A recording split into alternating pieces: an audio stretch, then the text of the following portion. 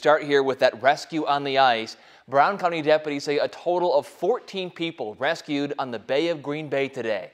NBC 26's Jennifer Naza has the story.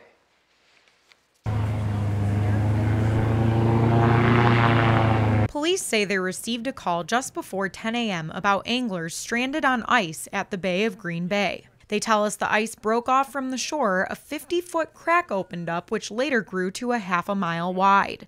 Fisherman Steve Knoll was stuck. I was nervous. Uh, didn't know what to expect. Knoll says this morning when they went out, this was all covered in four to six inches of solid ice. But the DNR says the weather conditions caused the ice to shift. We have a, a strong wind.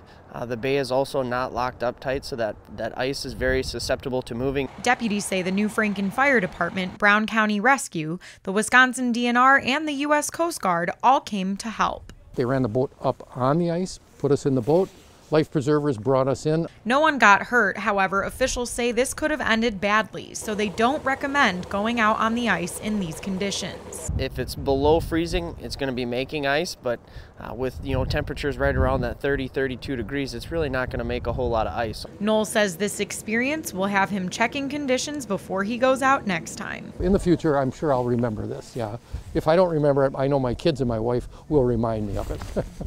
Jennifer Naza, NBC 26.